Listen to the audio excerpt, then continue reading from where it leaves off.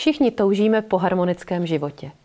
Někdo si ho představuje víc dobrodružný, někdo klidnější, ale o to, aby v něm bylo zastoupeno zdraví, láska, štěstí a hojnost, o to stojí každý.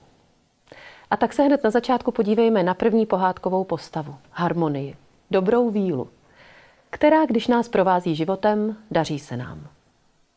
Začnu ale tím, co harmonie není. Harmonie není samá bílá. Harmonie není samá radost, samý štěstí a samý plusy. Harmonie je rovnováha. Zobrazeno je to například v monádě, kde vidíte v kruhu jak černou, tak bílou. A sousedí spolu v pohybu. Není tam přímka, která by je natvrdo oddělovala, že tohle je jen dobrý a tohle je jen špatný. Bílá a černá jsou oddělené vlnou. Ta hranice je pohyblivá. A ještě navíc je v bílé černá tečka a v černé bílá. Tedy i v radosti je zrnko smutku, i ve smutku je zrnko radosti. A v našem životě jde o to, umět harmonii udržet. Jak harmonii ducha, tak mysli, tak těla. Bez harmonie by bytost časem propadala bez naději, bez radnosti a bez mocnosti, tedy i nemocnosti. Hodně lidí říká, že jak se jim něco povede, někde jinde se něco pokazí a trápí je to. To se ale neděje proto, aby vás to trápilo. To je harmonie, ke které buď nejsme pozorní a pak býváme překvapení tím, co přichází, nebo k ní jsme pozorní, doplňujeme tam, kde je třeba a pak náš život plyne vyváženě. Představte si harmonii jako spoustu nádob, které v průběhu svého života plníte různým obsahem. Máte nádobu láska, nádobu finance, nádobu kariéra, nádobu rodina, nádobu zdraví a tak dále a tak dále. A na všechny ty nádoby dohromady máte určitých 100% energie. Když všechny nádoby plníte rovnoměrně, tedy harmonicky, plní se stejnou měrou, žádná se příliš nepřeplní a žádná se moc nevyprazdňuje. Pokud některou nádobu plníte přes příliš, jiná se logicky začne vyprazňovat. Vznikne disharmonie. Protože máte pořád těch 100% energie, ten jeden balík. Ani víc, ani míň. Když tedy někde přidáte, jinde ubíráte.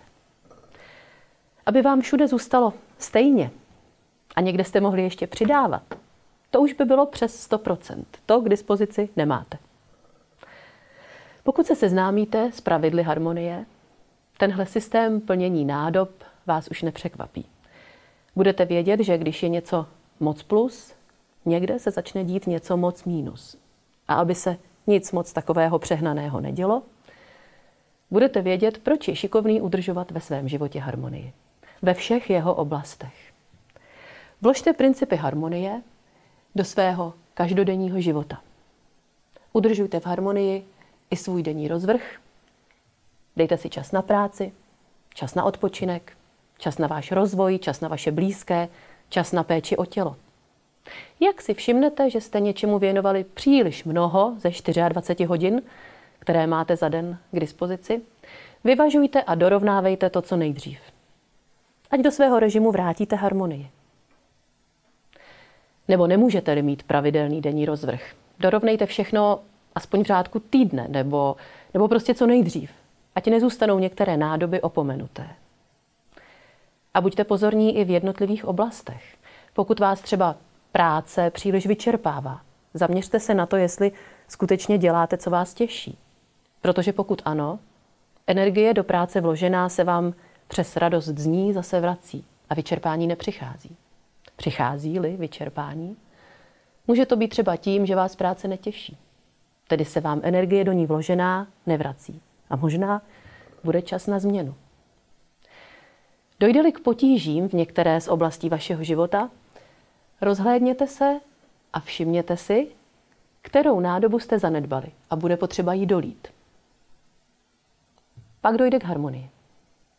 Neznamená to, že si nesmíte užít nic pěkného, protože byste se báli, že si tím přivoláváte něco ošklivého. Vůbec ne.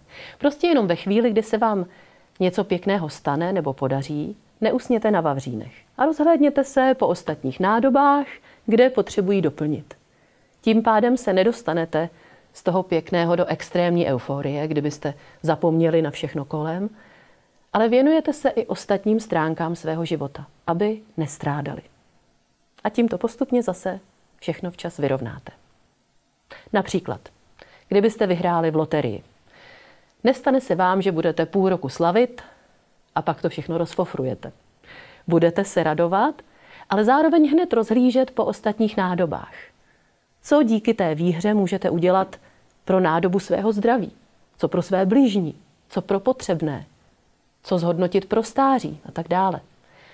A výhra vám při takovémto udržení harmonie přinese skutečný užitek. No a opačný příklad.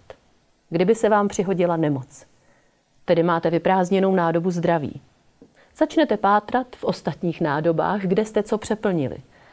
A zjistíte, že jste třeba moc pracovali a přeplnili nádobu povinností. Uberete, začnete odpočívat a doplňovat tím nádobu zdraví. Můžete kromě toho třeba ještě objevit, že jste vyprázdnili i nádobu seberealizace. Jak ji začnete doplňovat a dovolíte si tvořit a dělat to, co vás baví, je velmi pravděpodobné, že váš zdravotní stav to hodně podpoří.